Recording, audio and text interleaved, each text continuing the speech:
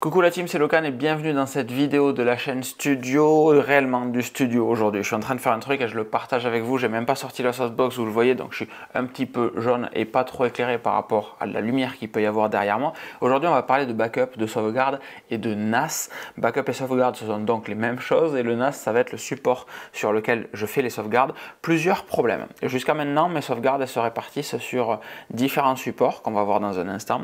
Et je vous fais un petit peu l'historique. J'ai euh, MacBook Pro 16 euh, pouces de 4 Tera, avec 4 Tera plutôt. Ce MacBook Pro arrive à saturation de son espace parce que j'ai une bibliothèque photo qui fait 1 Tera 5, 1 Tera 8, parce que j'ai euh, une bibliothèque Lightroom en plus de ça qui fait 300-400 Go, parce que j'ai beaucoup de documents aussi sur iCloud tout simplement. Mais en réalité, si je mets en plus ma bibliothèque euh, Final Cut dessus qui fait grosso merdo 1 Tera, j'arrive très vite à 300, 400, 500 gigas d'espace libre et j'aime bien avoir 1 Tera de libre ou 900 quelque chose gigas de libre sur l'ordinateur.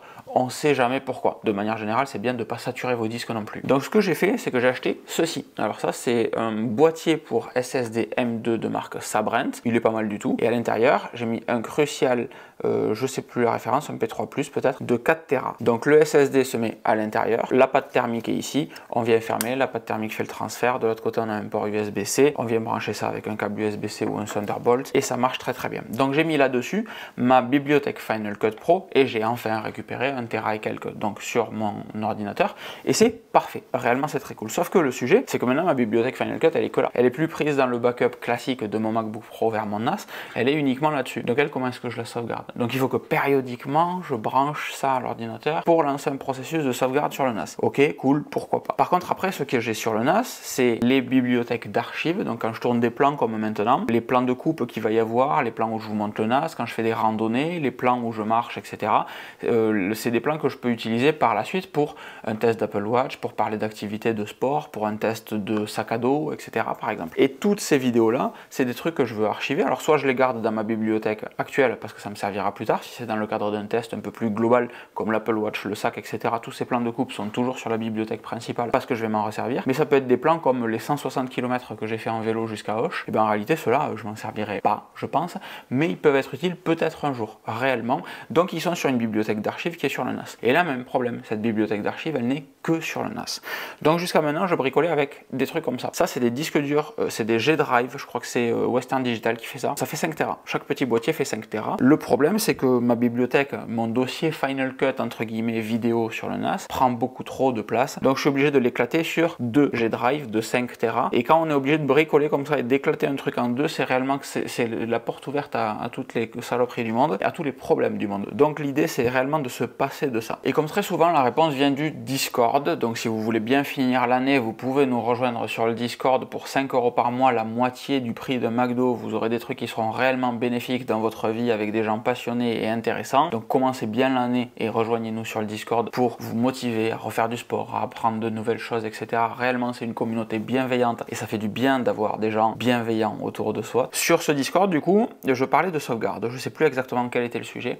Et la réponse vient de là, en fait, de comment est-ce que je peux sauvegarder les documents que j'ai sur mon NAS ailleurs. Et en fait, la réponse est de les sauvegarder sur un autre NAS. Et en trouvant ça, en trouvant la réponse de sauvegarder mon NAS sur un autre NAS, évidemment, et eh bien ça fait tilt. Je me suis dit, mais attends, mais en fait, j'ai un NAS, j'ai 8 euh, disques durs dedans, c'est du RAID 6, ils se sauvegardent entre eux, etc. Enfin, ils se sauvegardent, ils se copient entre eux, c'est pas de la sauvegarde. Au lieu de bricoler avec mes, mes X disques durs, là, pourquoi est-ce que je mets pas tout sur le NAS? Donc, ce que je suis en train de faire aujourd'hui, ce que je vais vous montrer, c'est le processus d'organisation que j'ai sur le NAS. Ça se justifie pas une vidéo sur la chaîne principale, je pense, mais vous me le direz dans les commentaires. Pour organiser justement toutes mes, toutes mes sauvegardes, tout mon process de mon flux de production surtout, et me passer un petit peu de ça. Et qui eux seront à vendre d'ailleurs, sauf celui-ci. Ça, c'est mes sauvegardes mensuelles de l'ordinateur. Le daily se fait vers le NAS, le weekly se fait vers un Lassie Rugged, donc orange, et le monthly se fait sur celui-ci, via Carbon Copy Cloner toujours. Alors, c'est le moment où je pourrais effectivement faire un screencast, parce que je suis juste ici, mais en réalité, euh, bah, ça sera plus simple de faire comme ceci. Donc, jusqu'à maintenant, voilà mon NAS. Il s'appelle Kilimanjaro, donc comme je vous disais, et j'ai 8 disques durs dedans, plus un cache SSD avec 2 SSD de 2 Tera chacun dedans. Donc 4 Tera de SSD pour mon cache SSD. J'ai plusieurs volumes. Jusqu'à maintenant, j'avais deux volumes. J'avais un volume principal qui était mon serveur de fichiers, euh, très simplement, donc euh, films, séries, etc. Et j'avais un volume secondaire qui était mon volume de backup. Donc sur ce volume, j'avais uniquement les backups de mon MacBook Pro qui arrivaient dessus via Carbon Copy Cloner. La réponse, elle se trouve sur deux, trois volumes en réalité. Donc toujours un volume 1 avec film, série, etc. Un volume 2 qui va être mon volume de production euh, et un volume 3 qui va être mon volume de backup. Donc j'aurais très bien pu rajouter juste un volume de backup, mais en réalité comme j'ai un Asperger, ça me dérangeait que mon volume le plus important soit euh, en 3 au lieu d'être en 2. Donc 1, 2, 3 ici. Et la solution après va consister à prendre ce volume 2. Donc on va venir là pour vous montrer à quoi ça ressemble. J'ai mon cache SSD du coup qui est sur mon volume 2 qui va faire que euh, en production, ma bibliothèque Final Cut Pro qui est en train de finir de se copier, je claque ici, il reste juste 15 heures de travail, hein, c'est pas bien fou. Euh, ma bibliothèque Final Cut Pro va pouvoir bénéficier de ce cache SSD et normalement je devrais avoir une connexion assez rapide. Il y a du 10 Go au cul du NAS et je suis branché, câblé moi, voilà, vous le voyez pas, c'est sur le côté, mais avec un adaptateur 2,5 gigabits, que ce soit ici au salon ou à l'étage. Et du coup, ce cache SSD va me permettre d'accéder à ma bibliothèque Final Cut Pro sans trop de soucis. Voilà à quoi ressemble l'arborescence sur le NAS. J'ai donc tout ce que je suis en train de copier ici, donc Locan Explore, donc la chaîne Explore, la chaîne Studio sur laquelle on parle ici, le podcast, les vidéos publiées sur la chaîne principale, euh, les réels, les rushs du coup que je ne veux pas jeter et Tesla Thérapie. Donc si je vais dans Published Vidéo, j'ai tout simplement toutes les vidéos publiées sur le site. Euh, il y en a quand même quelques-unes. Et voilà, et ça va me permettre ici de récupérer tout ça. Et donc la suite, c'est de retrouver la même chose ici dans Studio, qui elle se trouve sur mon volume 3, c'est sur mon volume 2, pardon, voilà, volume 2. Donc ça, c'est sur le SSD, et je vais avoir ma bibliothèque principale qui est ici, ma bibliothèque de backup qui est là, et toujours pareil, ça, c'est ce que je suis en train de copier depuis mon ancien dossier Final Cut Pro, euh, pour ensuite, ben, lui, le dégager tout simplement. Et si vous vous souvenez, dans la dernière vidéo de la chaîne Studio, je vous avais amené avec moi sur un dimanche pour réorganiser toute la bibliothèque Final Cut. Donc maintenant, c'est comme ceci. Et vous voyez, ça part dans le dossier No, parce que les plans d'aujourd'hui, ben, en fait, je vais jamais m'en resservir.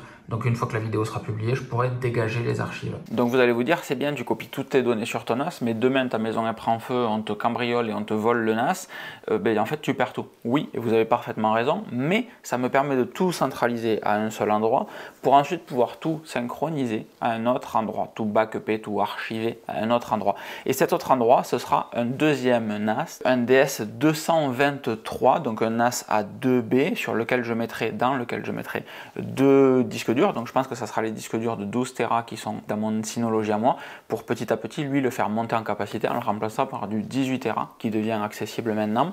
Et donc dans ce Synology 2B, j'aurai deux disques de 12 Tera à terme. Hein. Au début un seul ça ira très bien, puis deux disques pour augmenter le volume. Et ces deux disques me permettront de copier tout mon volume de production, donc les fichiers sur lesquels je travaille, mais aussi les archives que je veux garder, les vidéos que j'ai déjà tournées, publiées, etc. Tout ce volume de production, le copier sur le second NAS distant qui sera chez un pote à Colomiers. J'ai pas encore trouvé ma victime et ça permettra d'avoir enfin quelque chose de centralisé sur le NAS, quelque chose et le NAS qui centralise ses sauvegardes à l'extérieur. Et c'est ridicule, en fait, mon propos de cette vidéo, si vous l'avez regardé en entier, c'est ridicule d'avoir eu un NAS pendant tout ce temps et de l'en servir juste de serveur de fichiers alors que c'est un gros machin avec 32 Go de RAM, etc. Ça peut faire beaucoup plus que ça, au moins servir de dossier de travail pour ma bibliothèque Final Cut et arrêter d'utiliser du bricolage comme ça souvent. Et ça, si je le fais maintenant, c'est pour bien commencer l'année 2024. L'idée, c'est de commencer à avoir dès cette semaine là un petit peu de momentum justement avancer sur l'année prochaine. Parmi ça, il y a le fait de reprendre mes listes là. Ça, c'est tous les articles que je dois vous écrire sur Los Angeles. Ça, c'était mes activités d'hier. Et réellement reprendre cette activité de noter ce que je dois faire et de réellement torcher les tâches au quotidien. Et donc, ça, c'est un test sur la semaine de voir si, quand j'écris sur papier, j'arrive à être plus efficace. Hier, je me suis trouvé monstrueux. J'arrive à être plus efficace que les fois où je mets tout ça dans rappel, etc. Donc, rappel, c'est bien pour remonter l'information et me dire, ok, j'ai tout ça à torcher. Mais prioriser, etc. Moi, j'aime bien griffonner, faire des liens entre différents trucs, rayer, non, c'était pas ça en fait, etc. Noter des réflexions, des trucs auxquels il faut que je pense après. Mais je m'égare, c'était pas du tout le sujet de cette vidéo. Donc, n'hésitez pas dans les commentaires à me faire part de ce que vous voudriez voir peut-être sur la chaîne principale euh, sur ce contenu, ce que vous pensez être intéressant. Il faut que je vous parle du nouveau MacBook Pro M3 qui arrive à la maison sur la chaîne principale. Et ça, c'est la vidéo qui doit sortir demain, je pense. Donc, euh, même si avec les fêtes de fin d'année, c'est compliqué, euh, début d'année, ça va être très très sympa. Je vous fais des bisous. Je vous souhaite une excellente journée. Je vous dis à très vite. Ciao, ciao.